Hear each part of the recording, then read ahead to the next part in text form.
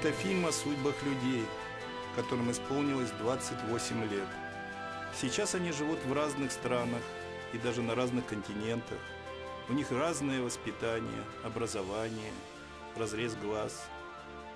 Мы снимали их в 7 лет, потом 14, 21. И вот теперь первый круг жизни замкнулся. Но есть одно, то, что всегда будет объединять этих людей. Они родились в несуществующей теперь империи СССР.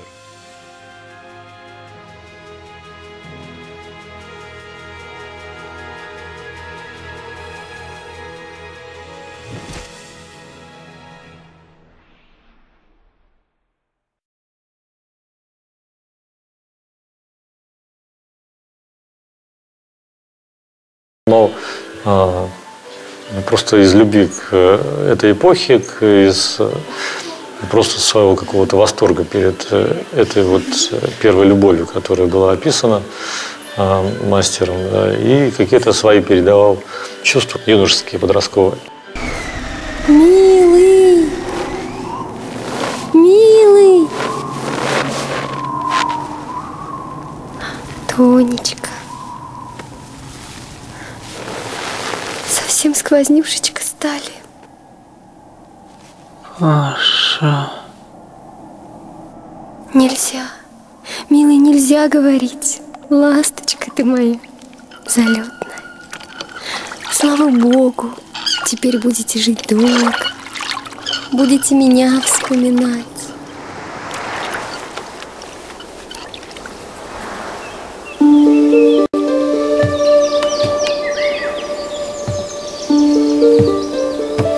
Паша? Пропала наша пашуха. В монашке постриглась. Это она за вас Господу обещалась. Уйду и уйду, если жив будет. Вот и ушла. А вы думаете, это не нужно никому? Ну, такая вот э, романтика. Какая-то это э, непонятная э, история про, про эти паруса какие-то.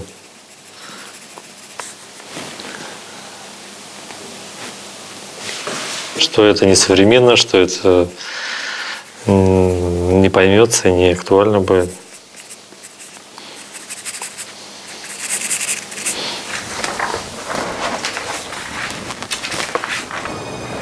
Почему именно вот э, «Алые паруса» Але- Александр Грин, почему не «Война и мир», да, и там не, не «Котлован» Платона. Я сам с собой все, все время нахожусь в каком-то вот вечном диалоге.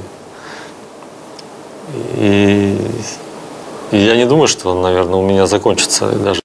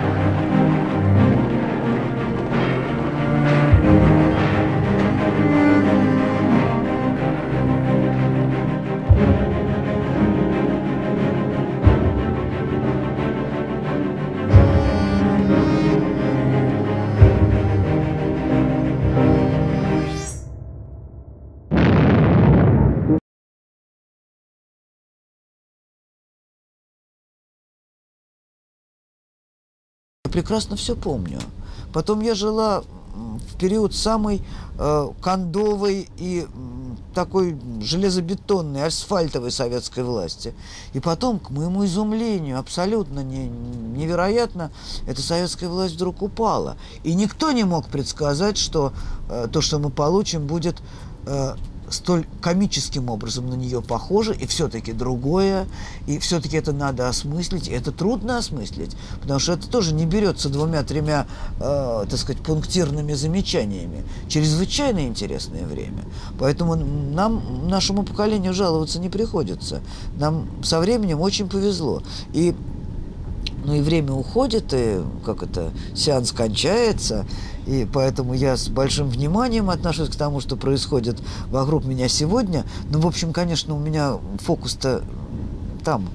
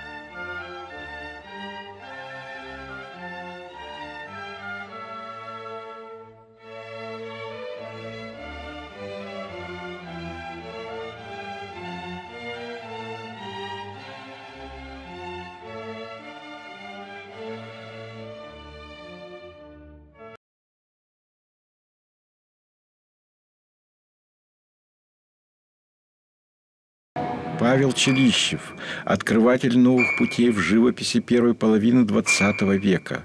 В 1919 году он эмигрировал с армии Деникина, и эта картина – первая работа художника, оказавшаяся в России. Полотно привезли тайно в виде свернутой в рулон декорации с балетной труппой Джорджа Баланчина 1958 году, спустя год после смерти художника – по завещанию автора картину передали в дар Третьяковской галереи, и она плавно перекочевала в запасники и пролежала там 40 лет. Только недавно она появилась в постоянной экспозиции. И так же, как полвека назад, она удивляет, а порой и шокирует зрителя, привыкшего совсем к другой живописи. Здесь все необычно и непредсказуемо.